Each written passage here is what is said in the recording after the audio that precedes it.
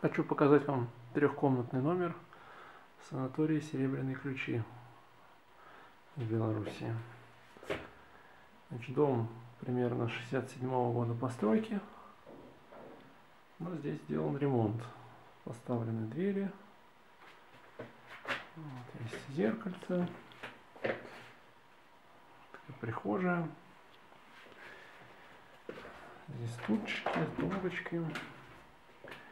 А, большая очень ванная комната.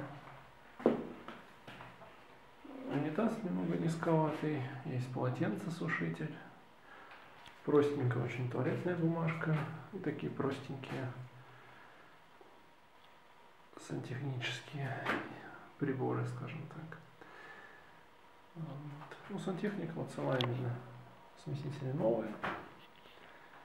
Ванна в паре мест обшарпанная, но с антискользящим покрытием.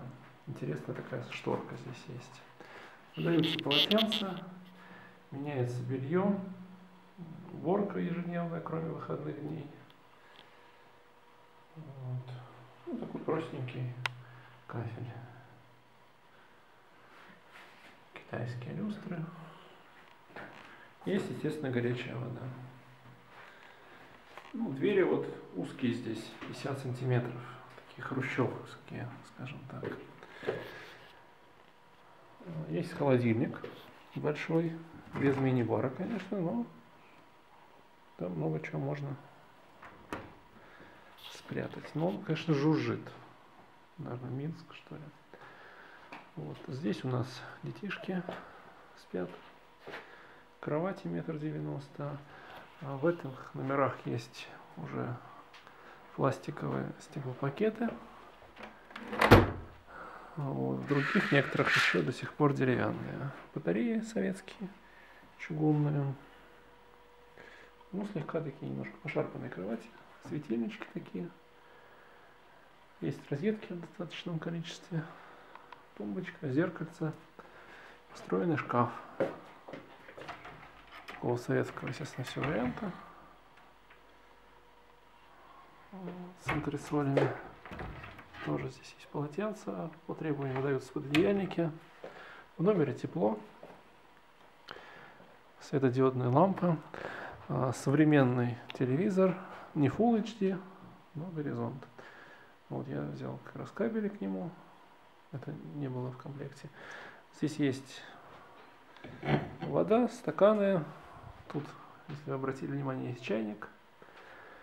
Вот чайный сервис.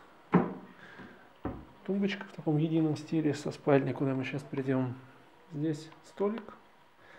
Под нами мягкий ковер, диван. Видимо, он раскладывается, но мы не пробовали. Такие корзины, почему-то не в белорусском, а картина не в белорусском стиле.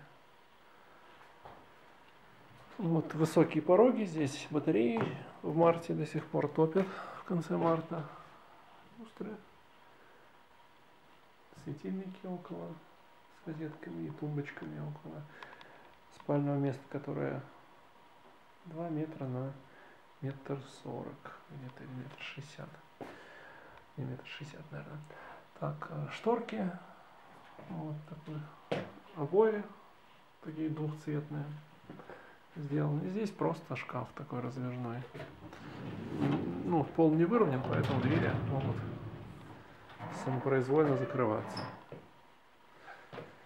Есть прикроватные коврики, матрасик. Вот эти вот углы очень острые. У кровати уже несколько раз от них ударялся. Подушки мы с собой привезли, потому что на машине приехали.